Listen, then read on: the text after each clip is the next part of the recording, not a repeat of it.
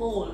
So hindi ako nag hindi ako nakapag-video uh, sa shop kasi um, wala na akong time guys kasi ang phone ko nadala kanina ay yung ano, yung isa kong phone hindi ko siya magamit kasi punong-puno na yung memory ng aking phone. So, kailangan mag-delete at saka mag-delete uh, uh, ang mga video and photos para magamit ko. Ang ingay ni Frankie. Ang ingay ni Frankie. Just wait guys.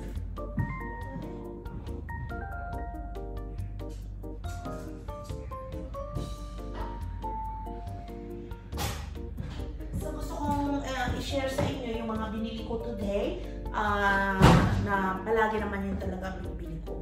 So, meron tayong bag dito na nabili namin sa Aldi. Last ko ipapakita sa inyo yung dalawang uh, bag na uh, woolies. So, yung Aldi lang muna yung pakita ko guys.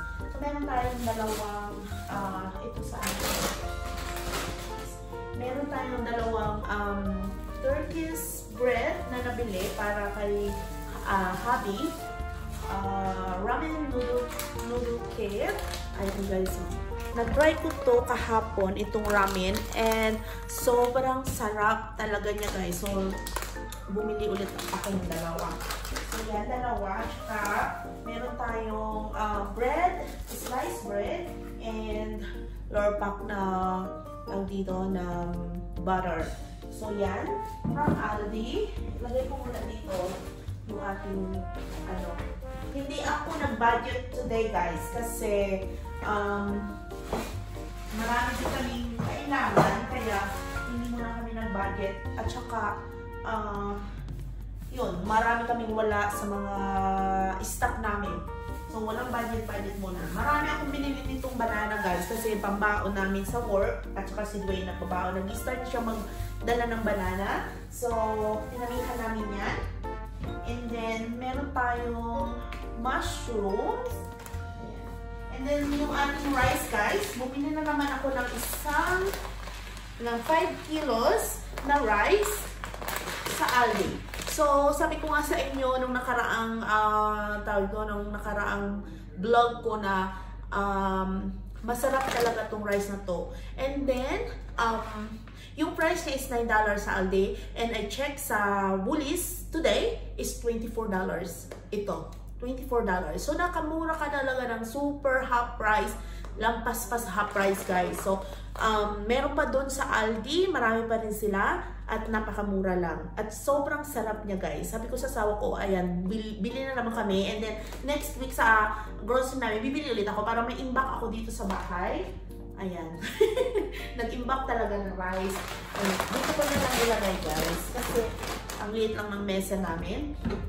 And bumili pala ako guys ng papaya. Ayan, kakainin ko siya mamaya, yung papaya. Good for our body, ang papaya, lalo na pag ikaw ay, um, tawag dito, yung constipation, ayan. Pwede kang kumain. Tama ba? O diarrhea? Ano? Pero paborito ko rin kasi ito guys, lalo na yung hindi pa siya hinog na hinog, yung me medyo crunchy siya, and then, um, isoak lang natin siya sa vinegar with salt and it's really yummy. Alam niyo na pag sa Pilipinas, di ba, libre lang naman to sa kapitbahay. Ayan. Bumili ako niyang papaya. Mahal din siya guys kasi uh, mahal talaga. At saka minsan lang siya magkaroon sa Aldi. So sabi ko, i-try din tayo niyan. And then, dito sa isang bag na to, ito, i-ano ko, i-last ko na itong ano, sobrang dami. oh my god. Napakadami guys. So yan. Tapos dito, sa bag na to, guys ay, napakita ko naman, yung mga uh, salad natin, spinach. Meron tayong ice, uh, coleslaw. Bumili rin tayo nitong lettuce na iceberg. And, itong mga ano, hindi ko na isa-isahin guys. Alam niyo naman na ito talaga, hindi mawawala sa grocery, ano ko, grocery haul ko itong, um, itong yogurt ni Dwayne na pang baby. So, meron siya ditong kids vanilla yogurt and then yung uh, chocolate na, tawag dito, Basta itong chocolate. Ayan. Ayan. Meron siya nito. So, ilagay lang muna natin dyan kasi um, meron pa dito, oh. Ayan pa. And then, um, ayan. Nakabili rin ako nitong uh, two box na Baraman di Pilay. Dahil ito, guys, na-try ko siya kagabi. Yun yung dinner ko. Mag-isa lang ako dito kagabi. So, four na Baraman di Pilay ang isang box nito. At super sarap niya, guys. Nilagay ko lang siya sa air fryer. And, um, nag-alagay lang ako ng potato, naglagay ako ng cauliflower and uh, broccoli sa air fryer, and pepper, and salt, and it's really yummy combination nito guys. Ayan, so dalawa nitong baramandi, bumili tayo yan. And then, yung ano ni Dwayne, butter at chicken, nakapang sa work. And then, ito sa kanya din to, Thai green chicken curry. Ayan ano to guys, gawa talaga ng Aldi. Hindi ito siya processed foods. Ano, pre fresh talagang gawa nila to. Ayan. And then, ito naman sa akin. Ito try ko tong uh, chicken chorizo uh, paella. And then, chi uh, pesto chicken with peanut pas with pasta and green vegetables. Ayan. Massive, ano to guys, massive grocery haul. And then, bumili tayo na, medyo maingay si Dwayne, may kausap siya. And then, the, uh, turkey breast, ham and bone, na, ayan, ham. And, ano ba? Cheese. Ito yung cheese na binibili namin, guys. From Aldi. Ayan, yung ganito yung binibili namin cheese. Swiss, um, is deli slice and the other one is lang yung ultra thin. Masarap ito, ultra thin. I recommend this one guys. Sobra siyang kunti lang. Ayan o, oh, kunti lang siya guys and this one is nearly uh, $5. And then bumili rin kami nitong chi, uh, southern style chicken burger. Ayan, chicken breast. Pero hindi ako ano, hindi ako magluluto ngayong gabi ako magluluto ngayon ng dinner kasi lalabas kami ni Doon. Punta kami ng uh, workers club. Doon kami mag-dinner kasi uh, i-treat namin yung kanyang son. Kaso, tumawag yung son niya. Not sure pa siya kasi not well. So, I'm not sure kung matutuloy ba kami. And then, dito naman tayo sa isang bag na to. So, bumili tayo ng um, dishwashing liquid. Ayan. Dishwashing liquid and softener hindi mawala sa akin ano, sa mga, uh, sa whole ko yan. And then, try ko tong salmon with, um, ayan, salmon. Ito. Bili tayo niyang dalawang salmon para sa aking salad. Ilalagay ko to. And then, another, um, new, new, um, candle again. So, this one is, oh, ano ito amoy? Wala. Basta soy wax candle with essential oils. Yun lang. So, hmm, ang bango. So, yan ang ating bagong, ano, bagong candles. Kasi ito guys, oh, matap malapit na maubos.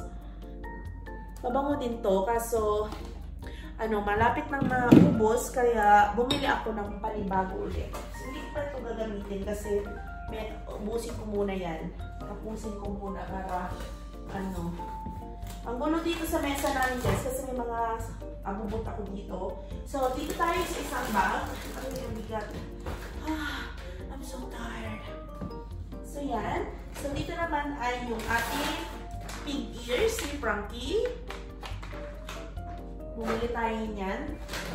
And then, kay Max na cat foods. And the rest are cat foods din na mga can. So, marami yan guys. Bumili ako ng bulky. Para hindi na siya maubusan. May stock. Isa kasi ginagamit ko rin ito sa sister ko na cat. Pag ano, hindi, ako kasi nagpipid sa kanya. So, nasama-sama na sila dyan. And then, itong vine, cat foods. Ayan, cat foods yan. So, move tayo sa ating um, woolies.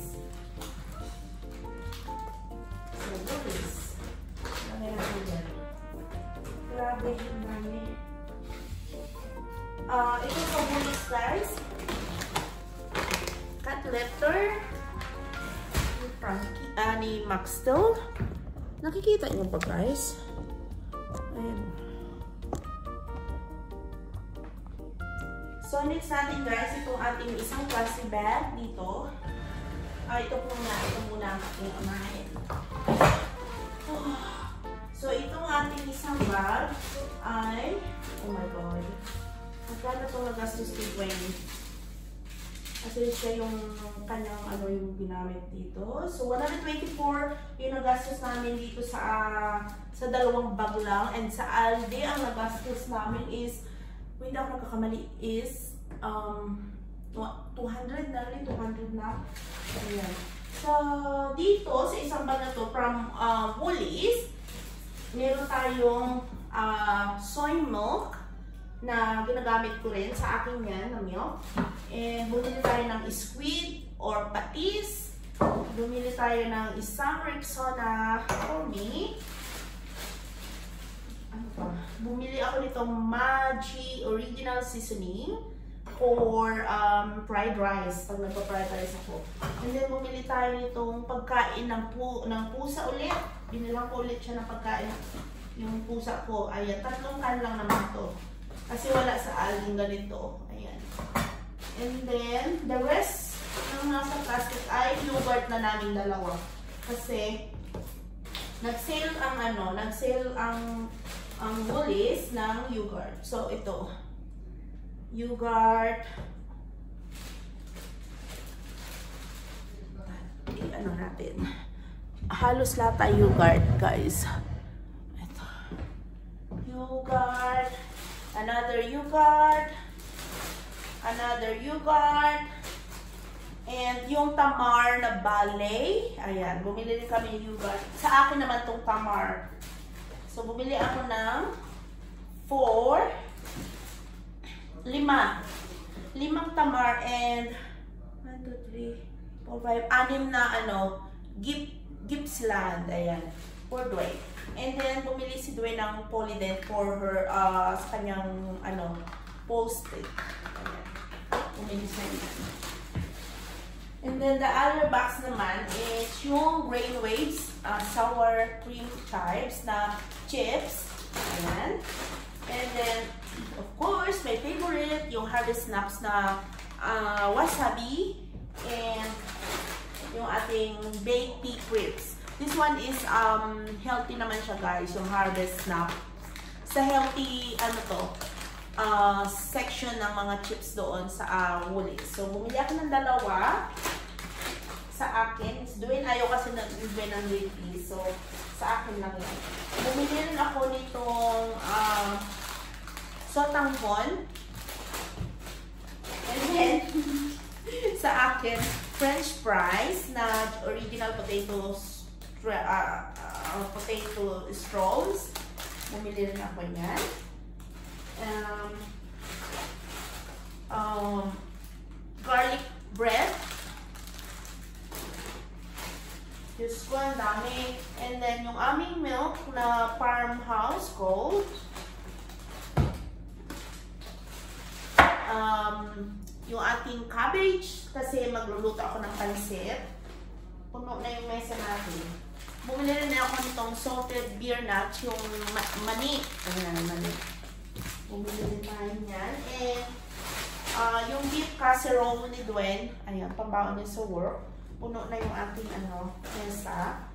Tapos, yung ating last sa plastic bag ay yung Raclay na traditional milk chocolate. Ayan. So, ang ating grocery haul for today ay ito.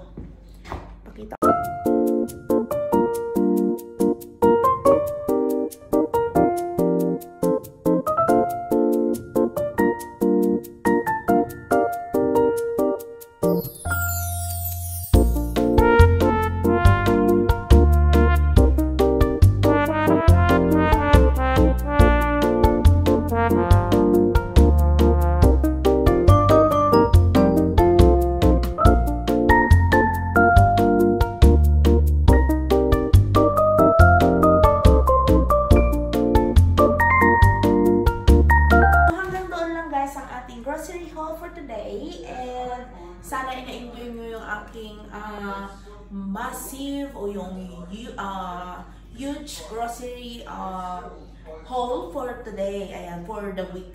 Ah, magiging ano to guys kasi next week ay hindi ka ano yung bibili namin. So, massive na to guys and huge or um, grocery haul. Ayan. Thank you guys for watching and I hope na na-enjoy nyo yung aking um, grocery haul and uh, see you on my next vlog. Bye!